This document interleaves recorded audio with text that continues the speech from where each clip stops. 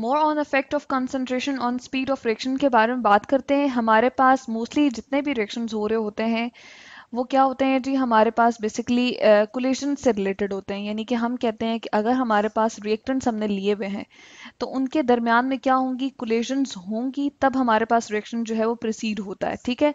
तो हम इसको जो है वो यहाँ पर रिलेट कर लेते हैं कुलेशंस ऑफ़ रिएक्टेंट से, ठीक है? जितने ज़्यादा हमारे पास आप देखें कॉन्सेंट्रेशन से क्या मुराद है कि एक हम लोगों ने इस तरह का जार लिया, जिसके अंदर हमारे पास यहाँ पर हम देख रहे हैं कि रिएक्टेंट्स कम है, ठीक है? और फिर हम इसके साथ इस तरह का एक एक बीकर ले लेते हैं, जार जिस तरह हमने बात की बीकर हम चले ले लेते हैं, उसमें हमारे पास यही रिएक्टेंट्स बहुत ज़्यादा हैं। तो इसकी हम बात करते हैं कि हमारे पास स्पीड ज़्यादा होगी, क्योंकि देखें, कितने ज़्यादा हमारे पास जो है, इसके अंदर केमिकल स्पीशीज मौजूद हैं। एडम हो सकते हैं मॉलिक्यूल्स या कोई भी कंपाउंड हो सकते हैं, ठीक है? अब आपस में क्या करेंगे, ये इसके साथ ठीक है कोलाइड करे, ये इसके साथ करे, इसी तरह से ये इसके साथ कोलाइड करे, ये इसके साथ जाके कोलाइड करे तो आपस में ये बहुत ज़्यादा कोलिजन्स क्रिएट करेंगे, जबकि यहाँ पर बहुत थोड़ी हो सकती है इसके साथ करेगा, ये इसके साथ मतलब कि रैंडमली एक दूसरे के साथ कोलाइड करेंगे। तो जितने ज़्यादा हमारे पास जो है कॉन्सेंट्रेशन होगी, उतनी ही ज़्यादा हम कहते हैं कि हमारे पास उस रिएक्शन की स्पीड होगी, ठीक है? जिस तरह से अगर हम बर्निंग का प्रोसेस ले लेते हैं, ठीक है? तो हम एटमॉस्फेयर में करते हैं जिसमें 21 परसेंट ऑक्सीजन प्रेजेंट है, ठीक है? अब ये भी क्या हो रहा है हमारे पास? बर्निंग का प्रोसेस भी एक केमिकल रिएक्शन है ना? तो हम कहते हैं कि 21 परसेंट में तो हमारे पास क्या है ऑक्सीजन की क्वांटिटी इतनी ज़्यादा नहीं है। जबकि अगर हम प्योर ऑक्सीजन का क्या करें, एक हम चैम्बर ले लें और उसके अंदर बर्निंग का प्रोसेस करें, किसी चीज़ को भी जलाएँ तो क्या होगा, वो बहुत इफ़ेक्टिव होगा और बहुत ज़्यादा हम कह सकते हैं कि हमारे पास उसकी स्पीड क्या होगी, ज़्यादा होगी। उस रिएक्शन की स्पीड जो है वो क्या होगी, ज़्यादा होगी। ठीक है as compare to twenty of oxygen के। इसके अलावा अगर हम कैल्शियम कार्बोनेट ले लेते हैं और उसके साथ हम क्या करते हैं, एसिड को रिएक्ट करवाते हैं, ठीक है? और एसिड की क्वांटिटीज़ को हम चेंज करते जाते हैं, यानी कि पहले हमने क्या किया, हमने हाफ़ लीटर ले लिया, फिर हमने क्या किया, हमने इस तरह किया कि एक दफ़ा से हम लोगों ने वन लीटर के साथ कर लिया, ठीक है? और इस तरह से हम जो है अमाउंट इसकी वेरी करते जा रहे हैं। अब जैसे जैसे अमाउंट इसकी वेरी कर रहे हैं तो हमारे पास रिएक्शन जो है वो भी डिफरेंट होता जा रहा है। तो यहाँ पर हम लिख देते हैं, यहाँ पर हमने वन लीटर लिया था, ठीक है? चलें कैपिटल एल लिख देते हैं और यहाँ पर यहाँ पर हाफ़ लीटर लिया था और यहाँ पर हमने क्या किया? वन लीटर ले लिया, ठीक है? तो वन लीटर जब हम एच लेते हैं और उसके साथ कैल्शियम कार्बोनेट को रिएक्ट करवाते हैं तो कॉन्सेंट्रेशन देखें, इसकी बढ़ा दी ना हमने। तो इस तरह से जब हम उसकी वेरिड अमाउंट को रिएक्ट करवाते हैं तो रिएक्शन की स्पीड जो है वो डिफरेंट होती चली जाती है। इसके अलावा अगर हम गैसेस की बात करते हैं तो उसमें हमारा क्या कंसर्न होता है जी? अगर यही हम बीकर इस तरह करें कि ऊपर जो है वो इनके पिस्टन रख दें इस तरह से, ठीक है? यानी कि इनके इनक्लोजर हमने कोई इस तरह से इनक्लोज करने वाली हमने कॉर्क वगैरह ऊपर फिट कर दी या हमने पिस्टन रख दी है जो इनको गैसेस को अंदर से बाहर नहीं जाने दे रही तो अब यहाँ पर भी यही है कि जहाँ पर ज़्यादा गैस की कॉन्सेंट्रेशन होगी या हम इस तरह से भी ले सकते हैं कि यही पिस्टन जो था, वो हम क्या करें? बहुत नीचे ले आए। यानी कि इसको इतना कंप्रेस कर दें और इसको नीचे तक लेते चलते जाएँ। ठीक है? यानी कि इन सब ये जो मॉलिक्यूल्स हैं, इनको हम क्या करना शुरू कर दें? एक दूसरे के अंदर कंप्रेस कर दें, यानी कि और करीब करीब ले आए, ठीक है? तो हमारे पास क्या हो, ये वाले और नीचे आ जाएँ, ठीक है? इस तरह से हमारे पास जो नीचे ग्रीन कलर के हमारे पास एटम्स या मॉलिक्यूल्स नज़र आ रहे हैं, वो और नीचे आ जाएँ, ठीक है? तो एक दूसरे के करीब हम करते जा रहे हैं मतलब ये है कि हम इनका प्रेशर क्या करते जा रहे हैं इंक्रीज करते जा रहे हैं। तो इस तरह से हमें पता चला कि गैसेस के केस में जब हम प्रेशर ज़्यादा करेंगे तो उस रिएक्शन का रेट जो है वो ज़्यादा होगा, या स्पीड जो है वो क्या होगी? इंक्रीज हो जाएगी। ठीक है? तो यहाँ पर हम लिख सकते हैं स्पीड ऑफ़ रिएक्शन इंक्रीजेस किस तरह से जी? जब हम गैसेस का प्रेशर जो है वो क्या करेंगे? इंक्रीज करेंगे। तो मैं यहाँ पर लिख देती हूँ प्रेशर क्या कर रहे हैं हम?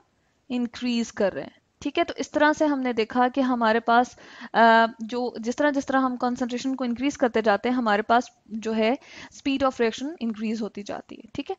तो यहाँ पर हम एक जो है रिएक्शन अगर ले लें, ठीक है? यहाँ पर हम एक गैसियस रिएक्शन ले लेते हैं जिसमें हम किसको कंसिडर करेंगे जी? आ, हमारे पास एन ओ गैस होगी ठीक है और उसको हम रिएक्ट करवाएँगे हाइड्रोजन के साथ ठीक है? यहाँ पर हम लिखते हैं कि हमारा हमने क्या ले ली? एन ओ टू मोल्स ठीक है? और इसकी गैसीय स्टेट हम मेंशन कर देते हैं। इसको हम जो है रिएक्ट करवाते हैं किसके साथ? हम रिएक्ट करवाते हैं two moles of H two gas ठीक है? अब देखें कि हमारे पास क्या है इनिशियली फोर मोल्स अवेलेबल हैं इन दोनों के, ठीक है?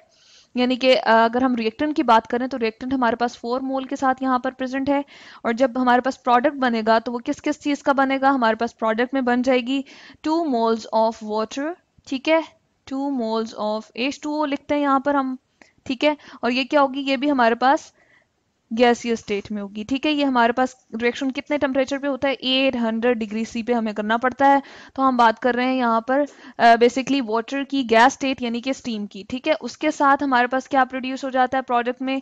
नाइट्रोजन गैस हम लिखते हैं एन गैस अब इस केमिकल रिएक्शन का रेट जो है वो हम इन टर्म्स ऑफ़ प्रेशर के साथ लेते हैं। ठीक है, क्योंकि हमारे पास गैसेज है ना। ठीक है?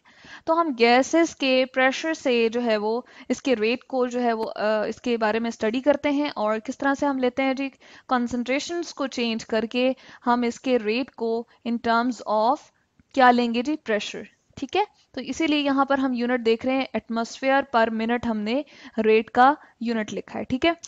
तो यहाँ पर हम देखते हैं कि अगर हम कंसंट्रेशन ये जो हमारे पास नाइट्रिक ऑक्साइड है इस गैस की हम क्या कर रहे हैं? जी कांस्टेंट रख रहे हैं, ठीक है? मोल पर डीएम क्यूब में ले रही हूँ यहाँ पर।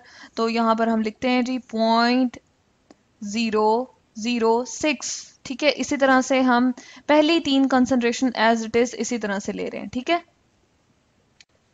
ये हमने जो है वो कांस्टेंट रखी हुई है कॉन्सेंट्रेशन नाइट्रिक ऑक्साइड की, लेकिन एच टू की हम क्या कर रहे हैं? पॉइंट ज़ीरो ठीक है? ज़ीरो वन लेते हैं ठीक है? उसके बाद हम इसको ट्वाइस कर देते हैं ठीक है? और उसके बाद हम इसको क्या करते हैं जी? एक और आ, हम करते हैं रिएक्शन में तो हम इसको क्या करते हैं? हम थ्राइस कर देते हैं ठीक है? तो इससे हम देख रहे हैं कि हमारे पास रेट में क्या फ़र्क पड़ेगा। हम देखते हैं कि हमारे पास रेट पहले आता है point zero two five atmosphere per minute ठीक है? उसके बाद जब हम डबल करते हैं एच टू की, ठीक है? कॉन्सेंट्रेशन को, जबकि नाइट्रिक ऑक्साइड की हम कांस्टेंट रखते हैं तो ये हमारे पास क्या होता है जी? रेट भी डबल हो जाता है पॉइंट ज़ीरो फाइव आ जाता है, ठीक है? और फिर हम जब थ्राइस करते हैं तो ये भी हमारे पास रेट जो है, ये भी थ्राइस हो जाता है, ठीक है? पॉइंट ज़ीरो सेवन फाइव हो जाता है। इसी तरह से अगर हम क्या करें H2 की कॉन्सेंट्रेशन हम क्या करें? कांस्टेंट रखें, यानी कि हम यहाँ पर रख लेते हैं point zero zero nine mole per DM cube यहाँ पर भी पॉइंट ज़ीरो ज़ीरो नाइन और यहाँ पर भी पॉइंट ज़ीरो ज़ीरो नाइन जबकि अगर हम यहाँ पर देखें तो हम क्या करते हैं जी? नाइट्रिक ऑक्साइड की हम चेंज करते हैं पॉइंट ज़ीरो ज़ीरो वन से पॉइंट ज़ीरो ज़ीरो टू ठीक है? और इसी तरह से पॉइंट ज़ीरो ज़ीरो थ्री इसकी कॉन्सेंट्रेशन के यूनिट्स हमने ऊपर लिखे हुए हैं, ठीक है?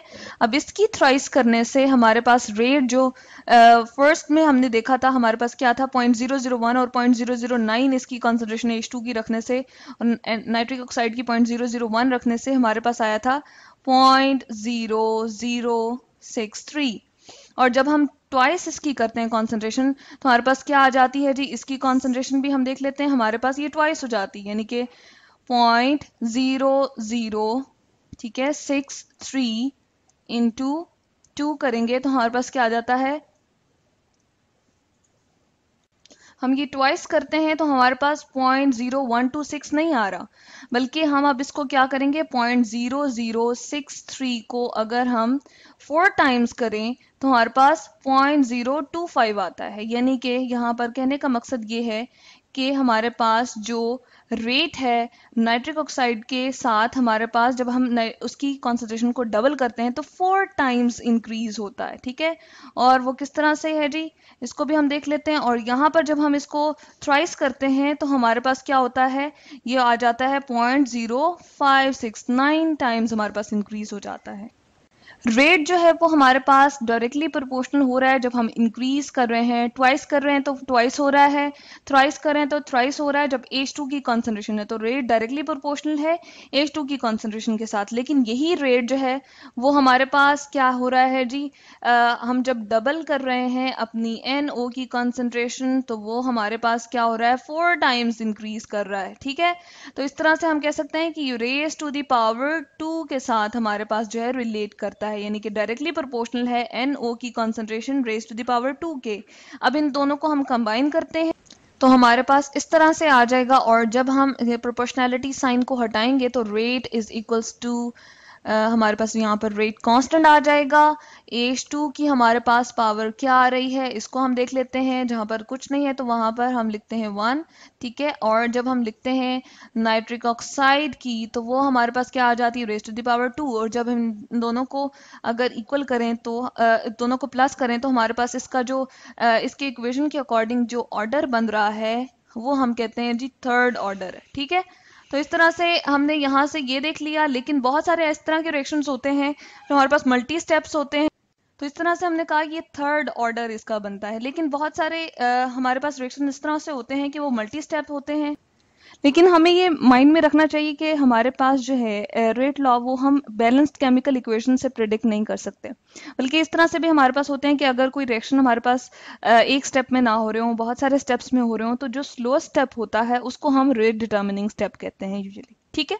तो इस तरह से हमने देखा more on effect of concentration on speed of reaction हमने यहाँ पर देखा कि अगर हम एक रिएक्टेंट की कंसंट्रेशन को क्या करते हैं कांस्टेंट रखते हैं और दूसरे की इंक्रीज करते हैं तो किस तरह से रेट जो है वो उसके साथ साथ हमारे पास जो है वो इंक्रीज होता है। तो यहाँ पर दोनों से हमने देखा कि दोनों की जब हम कॉन्सेंट्रेशन को इंक्रीज कर रहे होते हैं तो रेट हमारे पास क्या होता है?